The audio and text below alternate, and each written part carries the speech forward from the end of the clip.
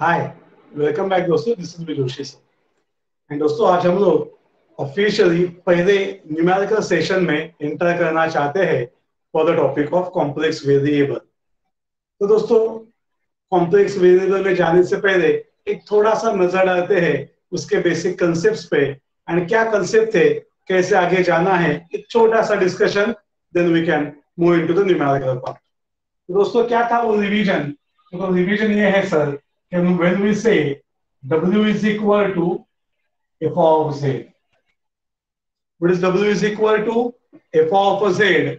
So yes, it is a function of an complex variable. सही बात है हाँ सर एंड यही जो आज एफ़ ऑफ़ जेड है ये एफ़ ऑफ़ जेड की जगह पे हम लोग लिखेंगे u प्लस आई वी तो w को क्या लिखेंगे हम लोग एफ़ ऑफ़ जेड की जगह पे u प्लस आई वी तो इन सिंपल फ़ैशन और we can say f of z का वैल्यू है u i v what is f of z it is u i v and दोस्तों, आज हमें ढूंढना है derivative of f of z का। क्या बात करेंगे? मज़ा आएगा। एंड आज हम लोग जानेंगे कि सच में डेरिवेटिव कैसे डेवलप किया गया है। तो सर हमेशा की तरह वही अपनी पुरानी राइट आती है। What is that right? Differentiating with respect to x या differentiating with respect to y एक ही यूज़ करने का, उसके साथ बने रहने का। श्योर तो अभी अगर मैं कहता हूँ by using differentiation obviously direct differentiation तो अवेलेबल नहीं है तो पार्शियली डिफरेंशिएट करेंगे। लेकिन वो किसके साथ डिफरेंशिएट करेंगे दोस्तों? एक्स के साथ करेंगे। तो ये एफ़ ऑफ़ जेड हम लोग सिंबॉलिकली लिख सकते हैं f dash of z I am just repeating for दो स्टूडेंट्स तो बहुत दिन के बाद अगर मैंने सोचा, वो ज्वाइन कर रहे तो भाई साहब, थोड़ा सा एक रिफ्रेशमेंट हो जाएगा रिफ्रेशर हो जाएगा। एफ़ ऑफ़ जेड का डेरिवेटिव मिलेगा एफ़ डैश ऑफ़ जेड तो ये यू का भी डेरिवेटिव हमें मिलेगा। Del u by del x plus i remain as it is v का भी डेरिवेटिव मिलेगा। Del v by del x तो दोनों जगह पे डिनोमिनेटर में, दोस्तों, जो पॉइंट आएगा वो होगा। Partially differentiation with respect to x सही बात है?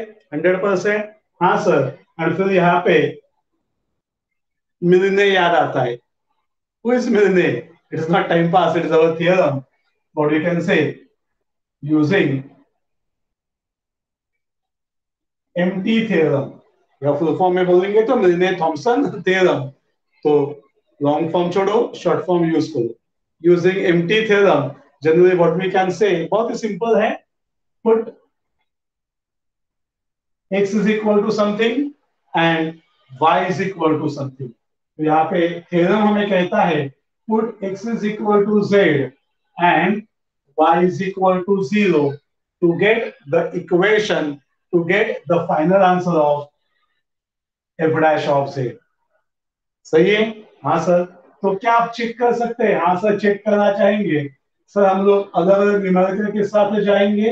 एंड दोस्तों, आज ये चार न्यूमेरिकल्स हम सारे आपके साथ सॉल्व करना चाहेंगे।